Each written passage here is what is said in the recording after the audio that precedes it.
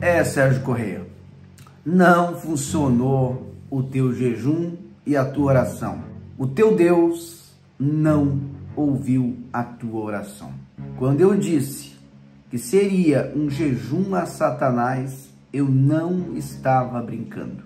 Por que, que eu falo isso? Porque conheço muito bem os bastidores do sistema.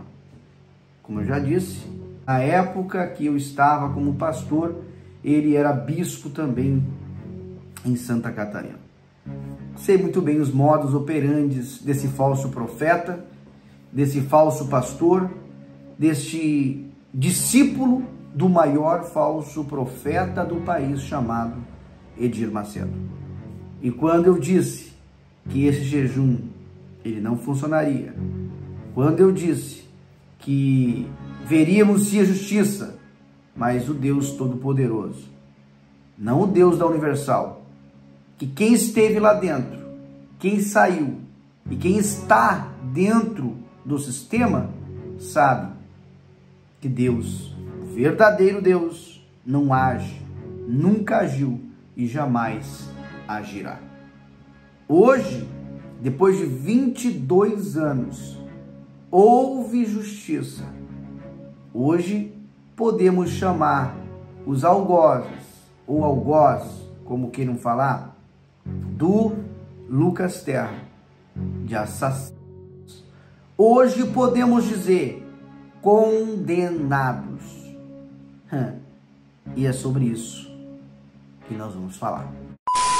Fala pessoal, sejam todos muito bem-vindos a mais esse vídeo. E hoje eu digo mais do que nunca, ô oh, louco meu! Mais do que nunca eu estou aqui tomando meu cafezinho vendo de camarote. Hum, você não sabe como me alegra fazer esse vídeo. Bom, então vai se inscrevendo aqui no canal, tá bom, gente? Se inscreva aqui no canal, dê o seu like, ative as suas notificações e, por favor, gente, por favor, não deixe de compartilhar se você puder, tá bom? Não deixe. Eu peço a você que vá aqui no primeiro comentário fixado, que está o link do meu canal secundário. Estamos trabalhando para que as pessoas vão para o canal secundário. Por quê? Porque eles estão criando, já criaram, né? Estão em votação, já teve votação em regime de urgência aí para uh, eles censurar as redes sociais. Então, vá lá para outro canal se você puder e quiser. Vai lá e se inscreva também, ative as suas notificações lá, porque lá nós vamos postar também muitos vídeos interessantes. Tá bom? E aqui nesse vídeo nós vamos falar um pouquinho sobre o caso Lucas Terra. Pessoal, você viu, como nós já tínhamos falado, sobre o jejum que a Universal promulgou em favor dos assinos. Porque hoje podemos falar assim, porque são condenados, foram condenados há 21 anos, inicialmente em regime fechado. Olha que maravilha! Ver uma mãe como a mãe do Lucas Terra, emocionada, uma mulher que jamais desistiu, uma mulher que olhou simplesmente para a justiça, mirou no alvo, justiça e não olhou para o tamanho do seu inimigo. Não olhou para aqueles que afrontavam a ela. Ela, pequenininha, lutando, falando, o seu esposo acabou, né, morrendo e não viu essa justiça. Mas ela continuou, continuou, continuou lutando contra este sistema podre e corrupto que é o sistema religioso. E nesse julgamento, ou na verdade, a primeira vitória foi levar a júri popular esses homens. E depois a condenação definitiva. Eles pensam que porque eles têm dinheiro, conseguiram protelar, conseguiram o, o, o que mais nos deixa indignado é ver uma instituição que fala tanto de Deus, que fala tanto em cuidar pessoas, protegeu esses homens por mais de 20 anos. Interessante. Mas hoje, agora, sem mais enrolação, nós vamos ouvir depoimento emocionado da dona Marion Terra falando sobre, logo depois que saiu a sentença. Logo depois. Ouça aí. Posso falar? Pode falar. Oi, gente, estou muito feliz. Eles foram julgados e condenados 21 anos de prisão em regime fechado, os dois. Fernando Aparecido da Silva e João Miranda foram varridos do convívio da sociedade. Eles vão, vão ser presos presos, já foi, graças. Ai, tô muito nervosa. Não, tá gravando ao vivo, mano. Grava, gra... agradece a todos. Agradeço a todos, todas as pessoas que me seguiram, todas as pessoas que me apoiaram, que compartilharam. Acabou, gente. Nós vencemos. Eles foram julgados e condenados. Muito obrigado por todo mundo que compartilhou, que incansavelmente me carregaram nos braços. Essa vitória não é só minha, essa vitória é de vocês é do meu esposo, do Carlos, que não está aqui. Eu tenho certeza que ele está muito feliz, o Lucas, pelo meu Luquinhas também. Gente, olha só, eu fiquei 22 anos esperando e eles foram condenados a 21 anos. Joel Miranda e Fernanda Aparecida da Silva. Todo o poder econômico deles não, não conseguiram se livrar do julgamento e serem condenados.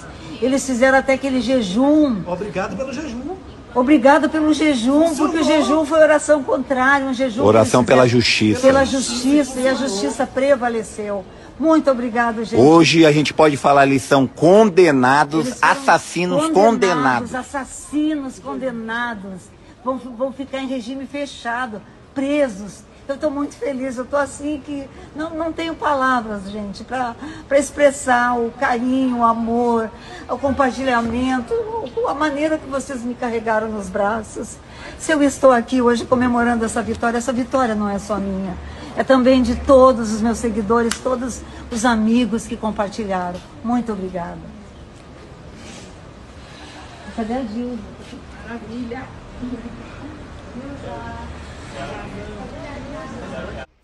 Qual pai, qual mãe, qual pessoa em sã consciência não ficaria emocionado em ver uma mãe que teve êxito na sua luta por justiça pelo seu filho? Filho esse que jamais, jamais ela verá, jamais terá de volta, jamais poderá colocar no seu colo esse filho e balançar, dizer: fica aqui no meu peito, meu filho. E dizer para ele, meu filho, eu te amo. Não, embalar ele. Claro que hoje, adulto, mas mãe é mãe, seu filho sempre será a sua criança. É verdade ou não é? Então, qual pessoa em sã consciência vê uma mãe assim não ficará feliz? Em saber que uma pessoa que, que não tem recurso, que não tem nada, lutou e conseguiu. Nós vimos aí, é, tem até na Netflix, um documentário falando sobre a Daniela Pérez. Quem não conheceu a Daniela Pérez, né? Quem não conheceu, conheceu o documentário e ficou sabendo quem foi Daniela Pérez. Guilherme de Pádua tirou a vida dela cruelmente. E ela, a Glória Pérez, lutou até o julgamento desse homem, do assassino da sua filha, e conseguiu condená-lo. Claro que a nossa justiça é muito falha, mas conseguiu. Mas ela também porque tinha repercussão nacional por ser autora de novela da Globo. Mas uma senhora como a Dona Maria Terra, nós temos que aplaudir, temos que olhar para ela e ver como essa mulher é uma mulher de garra, de fibra. Vamos ouvir mais uma partezinha do que ela falou logo depois da condenação desses homens. Isso aí me cada vez me dá mais certeza que meu Senhor nunca me abandonou, que sempre esteve ao meu lado. E é crer, a coisa melhor que tem para uma família é ter uma esperança. E essa esperança que eu tenho em Cristo, foi Ele que me concedeu essa vitória. Eu nunca deixei de confiar, mesmo vendo todo o poder econômico deles, eu os via como um castelo de areia, ruindo como ruiu hoje E você falou no carro isso? Eu falei no carro que eu ia ver, vocês ainda questionaram, disseram que não ia acontecer. Eu disse, eu vou ver esse castelo de areia. Quando eles colocaram aquele vídeo no ar lá, dizendo sobre o jejum da Jezabel, eu disse assim, calma Carlinhos, a oração que ele mandou a igreja fazer por justiça, ele é o justo juiz. E essa justiça vai ser em prol do meu filho Lucas Terra. Foi, realmente foi. Oração contrária. Tá aí. Olha, pessoal.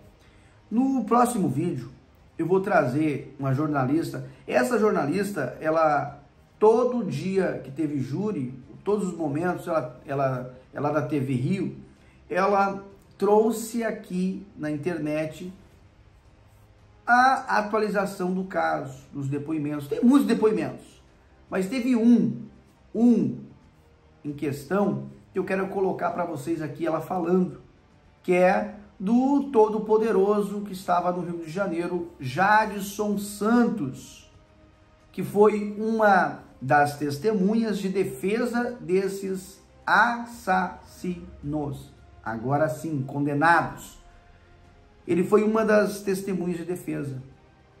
E, segundo o que foi falado, o Jadson também foi, já foi acusado de pedo. Você sabe do que eu estou falando.